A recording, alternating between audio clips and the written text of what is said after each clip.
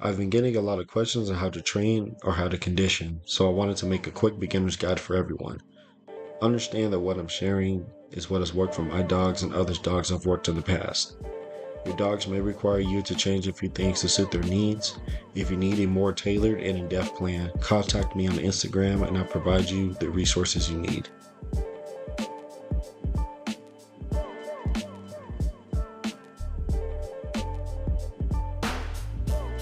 First on the list are endurance and duration repetitions. This is the type to focus on increasing the muscular endurance and mental focus of a particular exercise or command. You want to begin with a workload that's light or easy on the mind so you can test the dog's stamina and patience to potentially build them to the point where they have the energy needed to last the whole competition weekend. This may look like 10 minute mill runs, increasing the time for a downstay, or increasing the distance for a drag pull. As the program goes on, make sure to do this workout once or twice a week.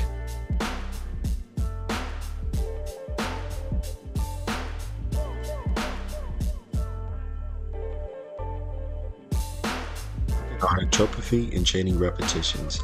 This is the type to focus on building the muscles needed for a particular sport or piecing together the commands the dog already knows for the routine or trial it will be completing this may require are variations in the workouts and training sessions. This will be in the form of high intensity interval training on a slat mill, combining your focus heels and place commands, or 30 reps at 70% of your last successful pull on the weight pull track. Implement this type of training two or three times a week for the first two months into your program.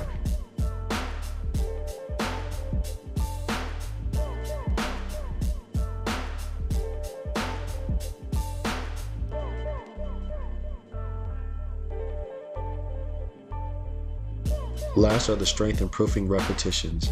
With this, we dive more into specificity. This will come in the form of training close to failure or applying a lot of pressure with distractions to ensure the dog knows what the task is in front of them. You'll apply this type of training as competition day comes closer, so when the day arrives, it'll seem like another day for the dog. You'll do practice pulls making corrections as needed, as others may make their own rally course with cones to work with.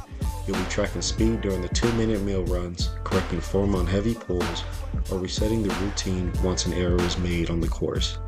You'll apply this type of training once or twice a week as the training may be stressful to the point where the dog needs additional rest days with some light endurance for the active rest days.